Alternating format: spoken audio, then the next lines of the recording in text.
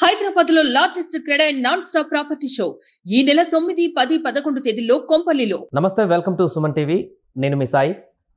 ఆంధ్రప్రదేశ్లో కూటమి అధికారంలోకి వచ్చాక వారు ఇచ్చినటువంటి సిక్స్ గ్యారంటీలో కొన్నిటికి మొదటి రోజే సంతకాలు చేసి అమలు చేస్తుండగా మరికొన్నిటికి కీలకమైనటువంటి పథకాలను ఆగస్టు ఫిఫ్టీన్త్కి పూర్తిగా అమలు చేసేటువంటి ప్రయత్నం చేస్తున్నారు ఏపీలో.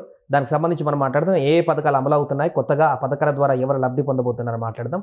దీనికి సంబంధించి మాట్లాడదాం. మనతో పాటు Suman TV news chief editor Keshav garu sir నమస్తే. నమస్తే. సో ఇప్పటికే కొన్ని పథకాలను అమలు చేస్తుంది ఏపీలో కూటమి ప్రభుత్వం. తాజాగా మరో కొన్ని పథకాలని ఆగస్టు ఫిఫ్టీన్త్కి పూర్తిగా అమలు చేసేందుకు రంగం సిద్ధమైనట్టుగా చెప్తున్నారు. ఏ ఏ పథకాలు ఏ విధంగా లబ్ధి పొందే అవకాశం ఉంది వాటి వల్ల? ఎన్నికల హామీలో చెప్పినటువంటి వాటిలో కీలకమైనవి ఒక ఐదు సంతకాలు. మొదటి ఐదు సంతకాలతోనే కూటమి ప్రభుత్వం అమల్లోకి తీసుకొచ్చేటువంటి ప్రయత్నం చేసింది. పెన్షన్ల పెంపు అందులో చాలా ప్రధానమైంది.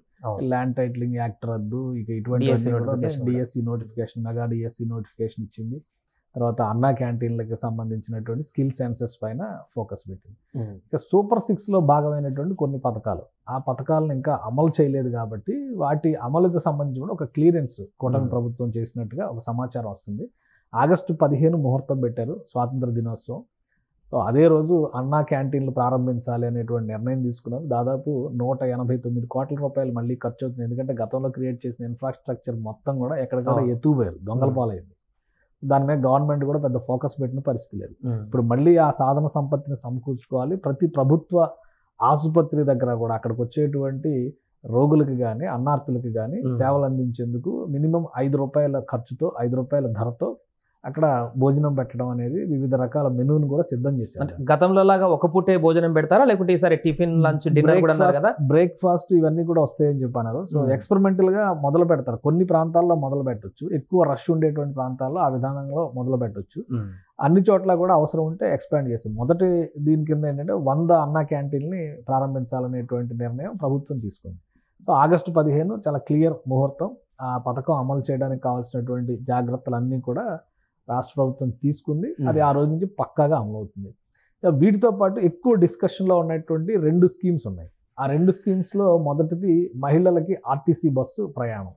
మహాలక్ష్మి పథకం అని తెలంగాణలో అమలు చేస్తున్నారు.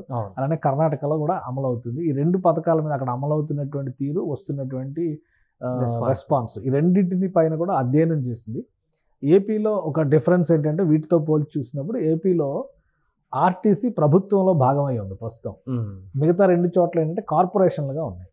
సో ఇక్కడ ఎలాంటి కాంప్లికేషన్స్ వస్తాయి? అది చూడాలి. దానిపైన దాదాపు దాని వలన బర్డెన్ రెండు వందల యాభై కోట్ల రూపాయల వరకు ఉంటుంది అనేటువంటి అంచనా వేసింది ఆర్టీసీ. అయినా కానీ ప్రభుత్వం ముందుకు వెళ్ళాలనేటువంటి ఒక నిర్ణయాన్ని తీసుకుంది. కాబట్టి ఆ పథకాన్ని అమలు చేయడానికి కావాల్సినటువంటి జాగ్రత్తలన్నీ కూడా ఆల్రెడీ తీసేసుకుంది ఆర్టీసీ అనేటువంటి జీరో టికెటింగ్ విధానమే పెడతారు.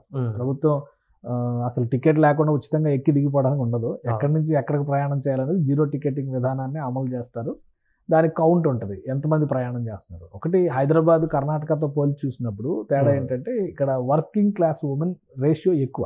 అంటే బెంగళూరులో కానీ హైదరాబాద్ హైదరాబాద్లో కాబట్టి సిటీ ఓరియంటేషన్లో ఇక్కడ ఎక్కువ టికెటింగ్ జరుగుతుంది. ఏపీలో అంత ఎక్కువ జరగడానికి అవకాశం ఉండకపోవచ్చు. కానీ ఉచిత బస్సు అనగానే ప్రయాణాలు కల్పించుకునేటువంటి పరిస్థితి ఉంటుంది కాబట్టి ఆ పర్సంటేజ్ ఒక ఇరవై పర్సెంట్ యాడ్ అయినా కానీ అంత బర్డె ఇక్కడ ఉన్నంత బర్డెన్ అక్కడ ఉండకపోవచ్చు అనేటువంటి ఒక లెక్క ఉంది. మొత్తం మీద దాని మీద ఒక అంచనాకు ప్రభుత్వం వచ్చింది. ఆగస్టు పదిహేను నుంచి ఖచ్చితంగా ఈ పథకాన్ని కూడా ప్రారంభించాలనేటువంటి నిర్ణయం తీసుకుంది. ఇక మూడవది ముఖ్యమైనటువంటి పథకం ఏంటంటే తల్లికి వందనం. గతంలో అమ్మఒడి అనేటువంటి పేరుతో జగన్మోహన్ రెడ్డి ప్రభుత్వం అమలు చేసింది. ఇప్పుడు తల్లికి వందనం అనేటువంటి పేరుతో చంద్రబాబు నాయుడు ప్రభుత్వం అమలు చేస్తుంది. దీనికి సంబంధించి already GO twenty nine release చేశారు. ఎవరెవరు అర్హులు గైడ్ లైన్స్ ఏంటి దానిపైన ఒక క్లారిటీ ఇచ్చారు. అఫీషియల్ వెబ్సైట్లో ఎలా డాక్యుమెంట్ సబ్మిట్ చేయాలి ఒకటో తరగతి నుంచి పన్నెండో తరగతి చదివే వరకు ఉన్నటువంటి విద్యార్థులందరూ కూడా దీనికి అర్హులు. అట్ ద సేమ్ టైం వాళ్ళకి డెబ్బై ఐదు శాతం హాజరు తప్పనిసరిగా ఉండాలి. అది మెయిన్ కండిషన్ ఇక ఇద్దరున్నా ముగ్గురున్నా ఇస్తామని చెప్పని రాష్ట్ర ప్రభుత్వం చెప్పింది. గతంతో పోలిస్తే డిఫరెన్స్ అది. పదిహేను వేలు అప్పుడు రెండున్నర వేలు ఎంత కట్ చేసి పన్నెండు వేల ఐదు వందలు ఎంత ఇచ్చింది గవర్నమెంట్. ఇప్పుడు పదిహేను వేలు తల్లుల ఖాతాలోనే వేస్తామనేటువంటిది స్టేట్ గవర్నమెంట్ చేసినటువంటి వాగ్దానం. కాబట్టి దానికి కూడా కావాల్సినటువంటి కసరత్తు పూర్తి చేసింది. ఎంతమంది వస్తారు? లెక్క లబ్ధిదారులు ఎంతమంది ఉంటారు? ఎందుకంటే అర్హతకు సంబంధించి కూడా కొన్ని పారామీటర్స్ రాష్ట్ర ప్రభుత్వం పెట్టింది. ఆ పారామీటర్స్ విషయంలో కూడా కొంత కొన్ని చోట్ల అభ్యంతరాలు వచ్చిన మాట వాస్తవం. అయితే ఖచ్చితంగా ఏదో ఒక ఇది ఉండాలి కాబట్టి నేరుగా ఈసారి కూడా ఆ తల్లుల ఖాతాల్లోనే వేస్తారా? లేదంటే ఇంకేమన్నా మార్గాలు? ఖాతాలోనే వేస్తున్నారు. దరఖాస్తుదారులు కంపల్సరీ ఆంధ్రప్రదేశ్ పౌరులై ఉండాలి. అలానే ఆధార్ కార్డు కలిగి ఉన్న వాళ్ళై ఉండాలి. ఆంధ్రప్రదేశ్ అడ్రస్తో ఆధార్. కార్డు కలిగి ఉన్న వాళ్ళు అయి ఉండాలి. ఆర్థికంగా ఇబ్బంది ఉన్నది. అంటే ఆర్థికంగా దారిద్ర్య రేఖ లేదా వాళ్ళు ఇన్కమ్ లిమిట్ పెట్టారు. రెండు లక్షల ఆ లిమిట్లో ఉన్న వాళ్ళై ఉండాలి. విద్యార్థికి కంపల్సరీ హాజరు శాతం డెబ్బై ఐదు శాతం ఉండాలి అవి మనం ఇందులో పెట్టినటువంటి పారామీటర్స్. ఇక PAN card ration card bank passbook voter ID card MNREGA అంటే ఈ నేషనల్ ఎంప్లాయ్మెంట్ గ్యారంటీ స్కీమ్ జాతీయ గ్రామీణ ఉపాధి హామీ పథకం ఉంది కదా దానికి. సంబంధించినటువంటి కార్డు ఉన్న కిసాన్ ఫోటో పాస్బుక్లు ఉన్నా కానీ డ్రైవింగ్ లైసెన్స్ కానీ వీటన్నిటిని కూడా అర్హత కావాల్సినటువంటి పత్రాల కింద డిసైడ్ చేశారు. సో వీటితో పాటు ఆ విద్యార్థి డెబ్బై ఐదు శాతం హాజరు అనేది కంపల్సరీ చేశారు అన్ని అందరికీ ఇచ్చేటువంటి మొత్తం కూడా బ్యాంక్ అకౌంట్లోనే వేయాలని రాష్ట్ర ప్రభుత్వం డిసైడ్ చేసింది దానికి సంబంధించి ఒక ఫస్ట్ ఫేజ్ అనుకోవాల్సి ఉంటుంది మనం. ఎంత రిలీజ్ చేస్తారో ఎంతమందికి రిలీజ్ చేస్తారనే డేటా ఇంకా ఫైనల్ కాలేదు కాబట్టి. కానీ స్కీమ్ అమలు చేయడం అనేది మాత్రం ఆగస్టు పదిహేను నుంచి అమలు చేయాలి ఈ మూడు పథకాలని కూడా అమల్లోకి తీసుకురావాలనేటువంటి ఒక డెసిషన్. సూత్రప్రాయంగా రాష్ట్ర ప్రభుత్వం తీసుకుంది అనేది సమాచారం ఇప్పుడు హాజరు శాతం డెబ్బై ఐదు శాతం విద్యార్థులు ఉండాలంటే ఖచ్చితంగా వాళ్ళు ఇయర్ ఎండ్ వరకు చూడాల్సిన అవసరం ఉంటుంది కానీ. ఆగస్టు ఫిఫ్టీన్త్కి ఆ, నిధులు మంజూరు చేసేటువంటి అవకాశం ఉంటుందంటారా లేదంటే లాస్ట్ ఇయర్ దానికి సంబంధించి ఇప్పుడు లాస్ట్? ఇయర్ పెండింగ్ ఉన్నాయి కదా ఇప్పుడు వాటిపైన కూడా కొంత వర్క్ నడుస్తుంది కదా. ఆల్రెడీ జగన్మోహన్ రెడ్డి గారు దానిపైన విమర్శలు కూడా చేస్తున్నారు కదా. అమ్మఒడి ఇవ్వలేదు అవి ఇవ్వలేదు ఇవ్వలేదు. ఇప్పటి జూలైలోనే ఇచ్చేసేవాళ్ళం మేమైతే అని చెప్పని ఆయన చెప్తున్నారు కదా. సో లాస్ట్ ఇయర్ పారామీటర్స్ని దృష్టిలో పెట్టుకొని ఇప్పుడు కొత్తగా వచ్చేటువంటి లబ్ధిదారులు. ఎందుకంటే లాస్ట్ ఇయర్ వరకు కూడా ఒకరికే ఇచ్చినటువంటి పరిస్థితి ఉంది. ఇప్పుడు ఇద్దరుంటే ఇద్దరికి ముగ్గురుంటే ముగ్గురికి అని చెప్పని అంటున్నారు కాబట్టి దాన్ని ఎలాగ వీళ్ళు కోపం చేస్తారు? ఎందుకంటే ఆర్థిక పరమైనటువంటి సమస్యలు చాలా ఉన్నాయి ఆంధ్రప్రదేశ్ రాష్ట్రంలో ఉమ్. ఈ ఆర్థిక భారం రాష్ట్రం మీద పడకుండా ఖజానా మీద పడకుండా ఎలా బ్యాలెన్స్ చేస్తారు అనేది చూడాలి అందుకనే ఈ పథకం మీద ఏంటంటే ఒక క్లారిటీ ఇంకా ప్రభుత్వం ఇవ్వలేదు. గైడ్ లైన్స్ ఎంపిక విధానం అర్హత అర్హులైన వాళ్ళు అప్లై చేసుకోవడం వీటన్నిటి కూడా కాల్ఫర్ చేసింది ఆ స్క్రూటినీ జరుగుతుంది కాబట్టి విధి విధానాలు ఆ. రోజు ఎంతమందికి ఇస్తారు అందరు లబ్ధిదారులకు ఇస్తారా లేదా మొదటి ఫేజ్ కింద సగం సగం రిలీజ్ చేస్తారా. సో ఇదంతా క్లారిటీ ఇంకా అధికారికంగా రావాల్సింది కానీ ఆగస్టు పదిహేను మూడు పథకాలని ప్రారంభించాలనేటువంటి విషయంలో మాత్రం రాష్ట్ర ప్రభుత్వం చాలా దృఢ సంకల్పంతో ఉన్నట్టుగా సమాచారం వస్తుంది. సో ఈ మూడు పథకాల అమలుతో ఇంకా పూర్తిగా కూటమి ఇచ్చినటువంటి హామీలన్నీ అమలైనట్టే అనుకోవచ్చా? సిక్స్ గ్యారంటీకి ఇంకా కొన్ని హామీలు ఉన్నాయి. Six Hmm. గ్యారంటీస్తో పాటు యువతకి ఉపాధి మార్గాలకు సంబంధించి దానిలో కొన్ని అంశాలు ఉన్నాయి. అంటే ఇప్పుడు ఆరు గ్యారంటీలుగా చెప్పినప్పటికీ ఒక్కొక్క గ్యారంటీ కింద మూడు నాలుగు అంశాలతో కూడినటువంటి హామీలు ఉన్నాయి. సో వీటన్నిటిని బ్యాలెన్స్ చేయాల్సినటువంటి పరిస్థితి ఉంది. ఇప్పటి వరకు చేసింది రాష్ట్రంలో ప్రస్తుతం ఉన్నటువంటి పరిస్థితుల్లో భారం అయినప్పటికీ కూడా ఉమ్. దాన్ని చాలా జాగ్రత్తగా హ్యాండిల్ చేస్తూ ముందుకు వస్తున్నారు ఇంకా రెండు నెలలు కూడా గడవలేదు కదా ప్రభుత్వం ఏర్పడి. అంటే కొంత టైం పట్టుద్ది. Hundred days action plan Chandrababu Naidu garu decide చేశారు. కూటమి తరపున లోకేష్ గారు కానీ పవన్ కళ్యాణ్ గారు కానీ చేసినటువంటి అనౌన్స్మెంట్ అంటే ఈ వంద రోజుల్లో మాక్సిమం మేము చేయగలిగినవన్నీ కూడా కంప్లీట్ చేస్తాం. తర్వాత మళ్ళీ ఒక వంద రోజులకు ప్రణాళిక ఇస్తామని చెప్పాను.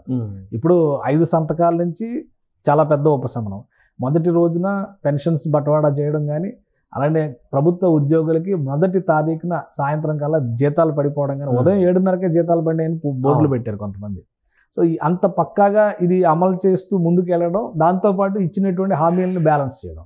ప్లస్ ఆంధ్రప్రదేశ్లో అభివృద్ధి గ్రోత్ ఇంజన్. సర్కార్ అంటే ఫైనాన్షియల్ యాక్టివిటీ ఉండేలాగా గవర్నమెంట్ను ముందుకు తీసుకెళ్ళేటువంటి ప్రయత్నం చేయడం. ఈ ఈ అంశాలను బ్యాలెన్స్ చేసుకునేటప్పుడు అన్ని హామీలు ఒకేసారి అమలు అయిపోవు ఏమి. చంద్రబాబు నాయుడు గారి దగ్గర ఏమన్నా మంత్రదండం ఉంటుందా. లేదంటే అల్లావుద్దీన్ అద్భుత దీపం ఉంటుందా ఇట్లా ఒకసారి రుద్దగానే అన్ని ఒకేసారి ఆంధ్రప్రదేశ్ అంతా ఇలా చేసేసి అంటే అలా అనుకుంటే ఎప్పుడో. చేసేవాళ్ళు కదా స్వర్ణాంధ్రాన్ని ఎప్పుడో అన్నారు పదిహేను ఏళ్ళ క్రితం ఇరవై ఏళ్ళ క్రితం. అప్పుడే చేసి ఉండేవాళ్ళు కదా అంటే కొంచెం ఓపిక సంయమనం అవసరం. రిజల్ట్స్ వచ్చి రెండు నెలలు అయింది గవర్నమెంట్ ఫామ్ అయ్యి దాదాపు యాభై రోజులు యాభై ఐదు రోజులు అవుతుంది. ఇంకా అరవై రోజులు కూడా కాల పదకొండో తారీఖుకి అరవై రోజులు కంప్లీట్ అయ్యే రెండు నెలలు కంప్లీట్ అయ్యేటువంటి పరిస్థితి ఉంటుంది. కాబట్టి విపక్షం తొందరపడుతున్నంత వేగంగా కాలం జరగదు కాబట్టి కాలానికి అనుగుణంగా పనులు చేసుకుంటూ ముందుకు వెళ్ళాలి కాబట్టి ఇచ్చిన హామీల్లో ప్రస్తుతం ఉన్నటువంటి స్థితిగతులకి అనుగుణంగా అమలు చేయగలిగినటువంటి పథకాలని వెంట వెంటనే అమలు చేసుకుంటూ వెళ్తున్నారు. బాధ్యతలు తీసుకున్నటువంటి మొదటి రోజు చేసినటువంటి సంతకాల ఫలితం ఏంటనేది రెండు నెలలుగా చూస్తున్నాము. ఇప్పుడు రెండో దఫాగా కొన్ని ముఖ్యమైనటువంటి పథకాలను ఎంపిక చేసుకుని వాటిని అమల్లోకి తీసుకొచ్చేటువంటి ప్రయత్నం చేస్తున్నారు ఒకవైపు ఎటు అతి గతి లేకుండా ఆంధ్రప్రదేశ్కి జీవనాడి అనుకున్నటువంటి పోలవరం ప్రాజెక్టుకు సంబంధించి విదేశీ నిపుణుల బృందంతో కొంత ఎక్సైజ్ చేశారు. కేంద్ర. ప్రభుత్వం ఇచ్చిన హామీ మేర- మేరకు రేపు నవంబర్లో డయాఫ్రమ్ వాల్ మళ్ళీ రీబిల్డ్ చేయాల్సినటువంటి పరిస్థితి ఉంది. దానికి ఓ వెయ్యి కోట్లు ఖర్చు పెట్టాల్సిన పరిస్థితి ఉంది. దాని మీద ఫోకస్ చేశారు. అమరావతి మొత్తం మట్టి కొట్టుకుపోయిన దాన్ని ఇప్పుడు ముప్పై ఏడు కోట్లు ఖర్చు పెట్టి మొత్తం చదును చేయించి దాన్ని క్లీన్ చేసేటువంటి ప్రయత్నాల్లో ఉన్నారు. కేంద్ర ప్రభుత్వం పదిహేను వేల కోట్లు సాయం చేస్తే అక్కడ ఒక యాక్టివిటీ మొదలైంది. యాక్టివిటీ మొదలైతే ఆటోమేటిక్గా ఎకనామిక్ యాక్టివిటీ కూడా ఆటోమేటిక్గా స్టార్ట్. అయింది సో అంటే ఆ ప్రయత్నాలు చేస్తూ ఉన్నారు. వాటితో పాటు చంద్రబాబు నాయుడు గారు భేటీ అవుతున్నటువంటి కంపెనీలు కానీ వాళ్ళ ప్రతినిధులు కానీ ఇవన్నీ గతంలో ఇటువంటివి లేవు కదా. అవును. సో ఒక యాక్టివిటీ అనేది మొదలైంది. రెండింటిని బ్యాలెన్స్ చేస్తూ ముందుకు వెళ్ళడం అనేది చాలా క్లిష్టమైనటువంటి ప్రక్రియ. దాన్ని బ్యాలెన్స్ చేస్తూ ముందుకు వెళ్తాను అన్ని బటన్ నొక్కుతా బటన్ నొక్కుతా బటన్ నొక్కుతా అంటే అవ్వవు కదా. చివరికి పీక నొక్కుతారు. సో ఆ రిజల్ట్ మనం చూసాం. ఇప్పుడు ఆయన చేస్తున్నటువంటి ప్రయత్నం ఏంటంటే ఇచ్చిన హామీలను ఒకవైపు నుంచి అమలు చేస్తూ ఉమ్. ఇంకో వైపు నుంచి ఆర్థిక పురోభివృద్ధికి కావాల్సినటువంటి బీజాలను నాటేటువంటి ప్రయత్నం చేస్తున్నారు. పవన్ కళ్యాణ్ గారు మొన్న ఒక కీలకమైనటువంటి స్టేట్మెంట్ ఇచ్చారు.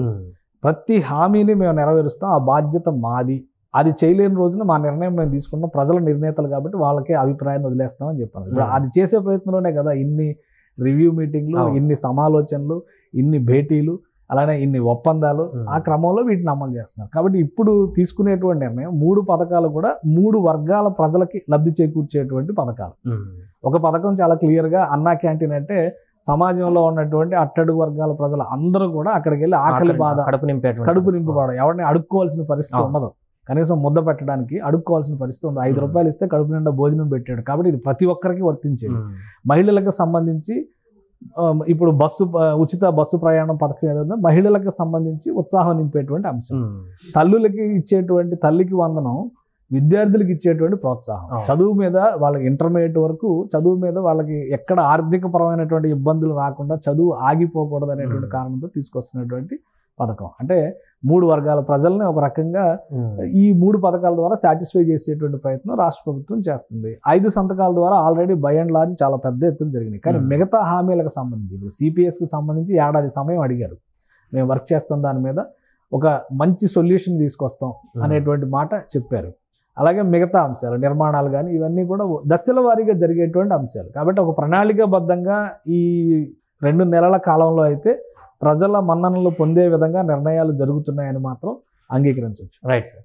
సో అది మొత్తానికి ఆగస్టు ఫిఫ్టీన్త్కి ఆంధ్రప్రదేశ్లో ఉన్నటువంటి ప్రజానికానికి మరొక శుభవార్త అయితే వినబడబోతుంది. మరో మూడు కీలకమైనటువంటి పథకాలని అమలు చేసేటువంటి దిశగా అక్కడ కూటమి ప్రభుత్వం అడుగులు వేస్తుంది. ఆగస్టు ఫిఫ్టీన్త్ నుంచే పూర్తిగా అవి అమల్లోకి తీసుకొచ్చి లబ్ధిదారులకు అందేటువంటి విధంగా చర్యలు చేపడుతుంది.